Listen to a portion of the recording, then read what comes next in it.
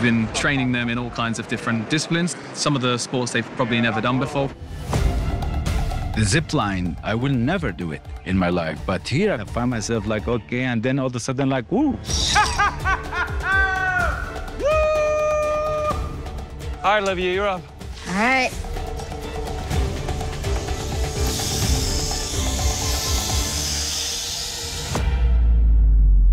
I am a badass. Like, I can't pretend like I am. This will hold, right? Yeah, no doubt.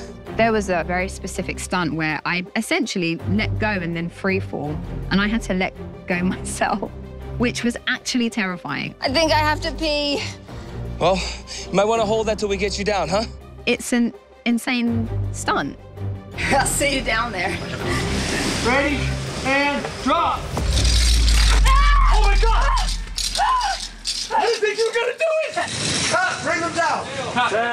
We have an awesome stunt team because that was scary.